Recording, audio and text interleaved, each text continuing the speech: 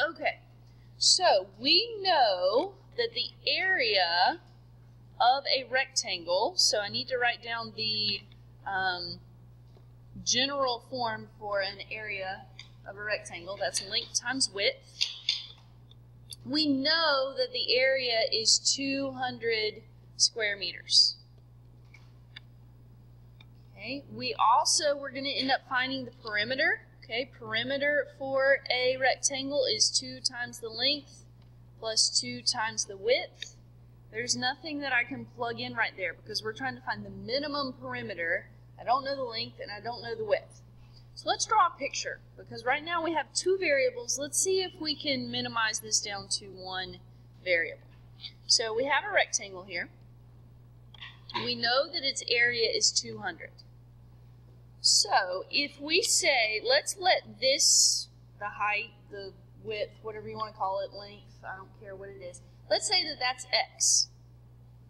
If that is x and the area is 200, can we come up with an expression for this uh, side on the top that just involves the variable x? Yeah. Right, divide by x. Okay, divide by x. 200 over x would be an expression for that side right there. So, we can substitute that now. We can rewrite our perimeter formula. Okay, our perimeter is equal to 2 times x plus 2 times 200 over x. So that's also, if we multiply that, that is 400 over x. You only multiply the numerator. 2 times 200 is 400. So that is an equation for the perimeter of this rectangle. Now, we want to find the minimum perimeter. So this is why we need our calculator. Because we don't know what the perimeter is, we need to find the minimum. So we're going to plug that into our y equals 2x plus 400 over x. Notice this is a rational equation because we have a variable in the denominator. Okay, this is a rational equation. Okay, now, before you automatically press graph, okay, we need to adjust our window because we need to think about realistic dimensions here, okay? X is representing the side length of this rectangle. So, does it make any sense to have negative x values? No. So our x minimum needs to be 0. Okay? Our x maximum. I don't know exactly what that could be. I mean, I know my area is 200, so it's, I don't know, it could be anywhere, probably it's not going to be any bigger than 100. Let's go ahead and put 100 in there just in case. Okay. Um, y values. Okay, what is the y representing? What is the y in this equation? The what? The length? Nope. What is, what is this equation equal to? Perimeter. So the perimeter doesn't make any sense for that to be a negative value?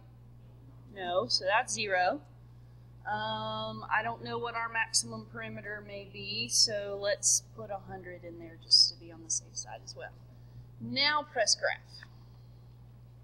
Okay, there is our graph. Obviously, I made the x a little bit bigger than it needed to be, but at least this way I can see the whole thing. You see that there's a minimum value right here. Okay, that is going to be the minimum. If you've never done this before, press second trace. Number three is minimum. It asks for a left bound. You need to move your cursor so that it is on the left side of that minimum value right there. Press enter. Move it to the right side. Press enter. And then just press enter again for the guess. Now, be careful. It gives us an x value and a y value. The x value is what in this problem? Okay, I know it's 14, but what does it represent? The length of the side. So that's 14.14. What does the y value represent? Yeah, it's 56, but what is that representing? The perimeter, okay? the perimeter, the minimum perimeter for this figure is 56.56, and that side length is 14.14. Yes, sir.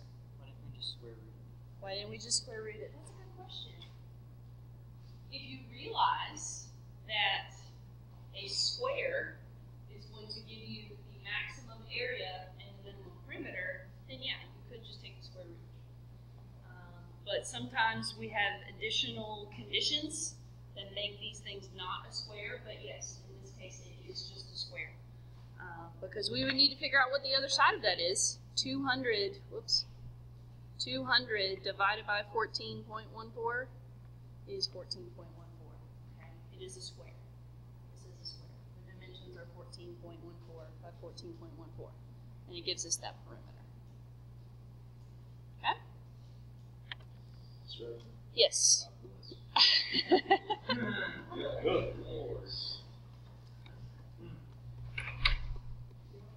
And those are meters. Please, please, please make sure that you always put, whenever we have a problem that has units, make sure that you include units in your answer.